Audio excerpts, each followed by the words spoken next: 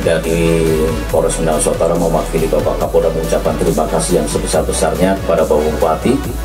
atas dukungan dan supportnya sehingga kami diberikan pinjam pakai terhadap bangunan ini yang tentunya ini menjadikan suatu hal bagi kami semua untuk bisa uh, segera merealisasikan kebutuhan personel dan kebutuhan yang lain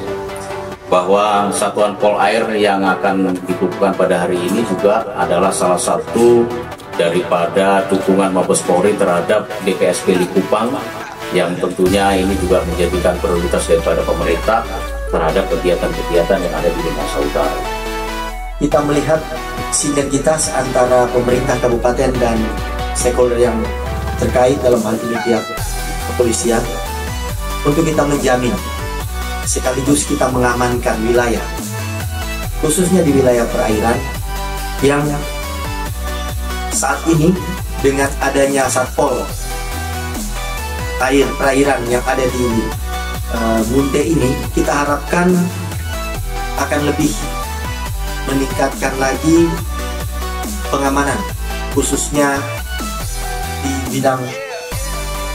kelautan perairan yang ada di Kabupaten Minahasa Utara ini.